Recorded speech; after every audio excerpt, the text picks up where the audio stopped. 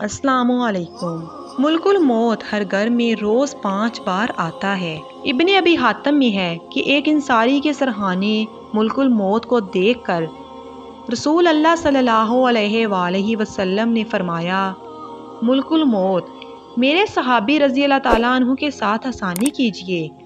मुल्कुल मौत ने जवाब दिया कि अल्लाह के नबी सल्लल्लाहु अलैहि वसल्लम तस्कीन रखिए और दिल खुश कीजिए।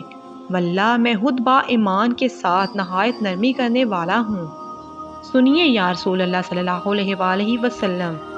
कसम है अल्लाह ताला की तमाम दुनिया के हर कच्चे पक्के घर में हवा वो खुशकी में हूँ, या तरी में हर दिन में मेरे पाँच फेरे होते हैं। हर छोटे बड़े को मैं उससे भी ज़्यादा जानता हूँ जितना वो खुद अपने आप को जानता है। या रसूल अल्लाह सल्लल्लाहु अलैहि वसल्लम यकीन मानिए, मैं तो एक मच्छर की जान कब्ज करने की भी कुदरत नहीं रखता जब तक कि मुझे अल्लाह ताला का हुक्म ना हो जाए।